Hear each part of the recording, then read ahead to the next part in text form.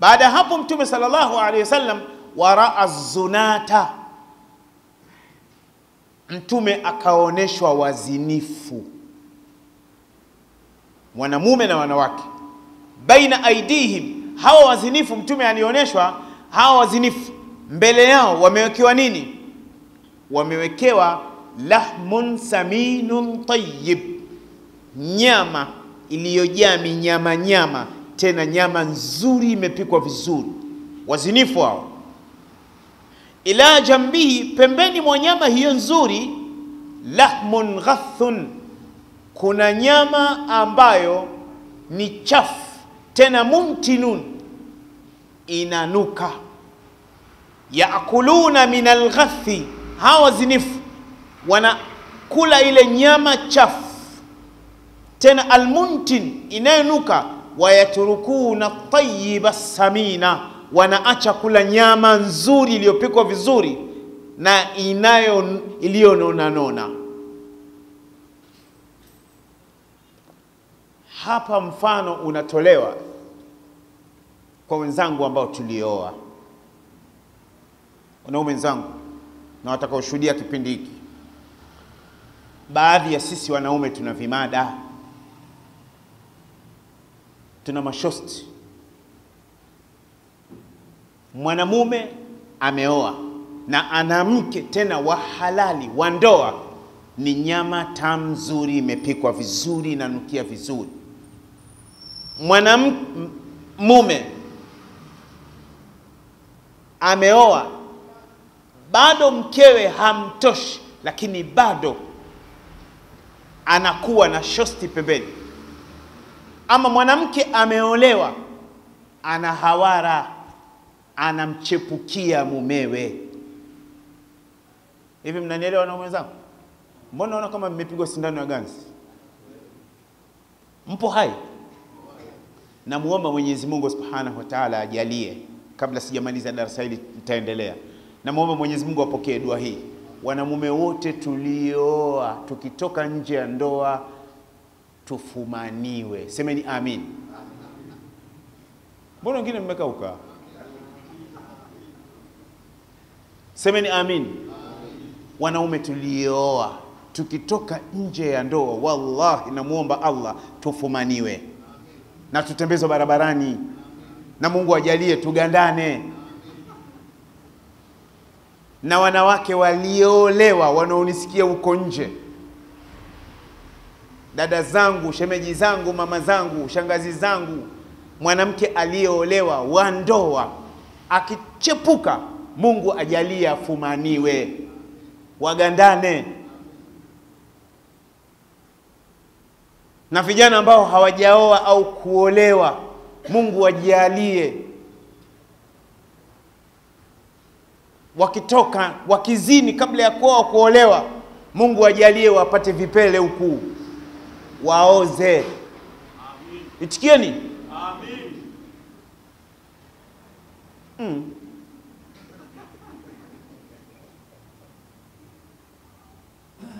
Hii Mtume alionyeshwa.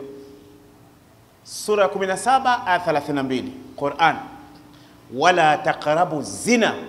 Innahu kana fahishatan wa saa sabila, msizini, hakika kuzini ni dhambi mbaya na ni uchafu mbaya. Chukua mfano, unakuwa ni shekh, wewe ni mfano, halafu unakuwa ni mzinifu, inakuwa maana yake ni nini? Wewe unatakiwa kuwa picha njema. Ama kwa mfano, chukua mfano, wewe umeoa, wale ambao hawajaoa wanatakiwa wakuone wewe ulioa kwamba umetosheka, lakini wewe ndio unachukua division 1.7 kwa kugonga. Yaani ingekuwa Mwenyezi Mungu anapokea dua, wallahi bora wakamatwe tu, yaani wallahi wagandani, wazinifu wafumaniwe, msiwapige tu basi, wafumaniwe tu basi. walillahi junudu samawati wal ard. Kuna pahala fulani. Kuna pahala sikua, sikiliza hicho, kuna pahala fulani, siku fulani, mwezi fulani, saa fulani, mkoa fulani, wilaya fulani, mti ulikatika ukaanguka kwenye chumba, mwanamume na mwanamke wanagongana, mmoja ni mke wa mtu, mti umewaangukia, wana wanabanduana, wakakuta mwanangu kitu ndani ya kitu. Ushahidi mahakamani, sehemu fulani, siku fulani, pahala fulani, wakati fulani, mwezi fulani, mkoa fulani, wilaya fulani, nchi fulani, sihitaji, ipo hapa katika inbox, tena katika strong room. Hata ukiingia katika inbox yangu sikwambii. Nimepita na mtu mmoja siku moja kwenye gari, nikaambia unaona hapo, ilitokea moja, nasema eh, alikuwa anaendesha gari akachea, nikamwambia bwana, shika gari, kamata steering bwana. Eh, ushahidi. Wajaat kullu nafsin maaha saiqu wa shahid. Wajaat kullu nafsin maaha saiqu wa shahid wajaat كل نفس معها سائق وشهيد. وجاءت كل نفس معها سائق وشهيد. atafufuliwa kila mtu siku ya Kiyama. Saiq ana malaika wa shahid na ushahidi. Wallahi, kuna baadhi ya sisi wanamume tutafufuliwa na mademu kama 15 wote umebandwana nao siku ya Kiyama. Wallahi, hiyo ni sura ya hamsini. Nadhani aya 13 au ya 20 na aya katika sura Qaf, atafufuliwa kila mtu. Saiq, ana malaika huku nyuma, washahidi na ushahidi. Kuna watu watafufuliwa wana koki za msikitini. Wameiba. Kuna wengine watafufuliwa na viroba vya viatu, Mbagala kaiba, Mwana Nyamala kaiba viatu, alafu kafa hana chochote. Kuna watu utafuliwa siku ya Kiyama unawanga, yani unafuliwa siku ya Kiyama, yani unapiga IT oh, oh, oh, oh. Yani siku ya Kiyama huyaamini haya. Wallahi, wallahi, wallahi, subiri Kiyama utaona siku hiyo. Hutoniuliza kwa sababu likulli mriin minhum yaumaidhin shan, kila misikio, kila mtu na mambo yake. Mimi mwenyewe nimekabwa mpaka hapa. Siku ya Kiyama hakuna shehe, hakuna kiki, hakuna chawa. Chawa anapigwa kabali mwanangu, si mashaka kunakuwa na chawa? Hakuna chawa mwanangu siku ya Kiyama. Yani kwanza chawa ndio wanakabwa, kwa sababu kwanza chawa ndio wanaharibu wale, nakabwa wote siku ya Kiyama. Si hivyo tu, yauma idhin tuhaddithu akhbaraha bianna rabbaka awha laha, ardhi itasema siku ya Kiyama. Si mnaona hii ardhi tunaosujudia? Wallahi na apa siku ya Kiyama itakuwa shahidi. Ya Rabbi, mja wako huyu, ya Rabbi, mwanamke huyu ni Muislamu, alikusujudia wewe, dada huyu, bibi huyu, ardhi inatoa ushahidi. Wallahi ya Rabbi, huyu alikuja hapa akatoa sadaka. Ya Rabbi, huyu alikuja alinunua sim tank, na pale sim tank lilipowekwa linasema ya Rabbi, huyu alifanya hivi, huyu alipiga kabali mpaka akamtoa mtu utumbo, namuona. Ya Rabbi, huyu alimlisha mtu sum Ya Rabbi, huyu mtu alimpiga bastola mtu.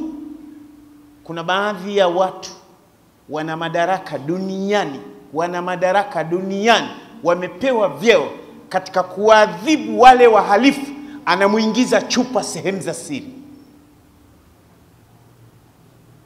Wapo watu hao hivi, mpaka unamwingiza mtu chupa sehemu za siri. Wewe ni nani? Utakufa wewe, mshenzi. Kuna wengine wanafungwa tikiti, tikiti linafungwa sehemu za siri, mwanamume anafungwa na mshipi, anakaa kwenye kiti, lazima aseme ni kweli, si kweli. Tikiti linavuta chini na mshipi unataka kukata USB na power bank, unafanya nini? Utasema mwanangu, nimefanya, kumbe hujafanya. Ili tikiti tulikuwa chini, lakini hawa wataonekana siku ya Kiyama, wataonekana siku ya Kiyama. Sasa Mtume sala salama ameonyesha yote. Ndugu zangu, ee, nasema hivi, nasema bali linsanu ala nafsihi basira. Mmesikia earthquake iliyotokea Uturuki? Mmesikia jana mpaka Syria. Mimi nilipozipata zile habari kwenye mtandao za earthquake zalzala, kwamba Uturuki aliyenitumia yupo katika nchi za Kiarabu, nikamuuliza ni kweli, akanambia na mimi nimeiona kwenye mitandao. Basi simu hizi janja hizi aljawalu dhakiyu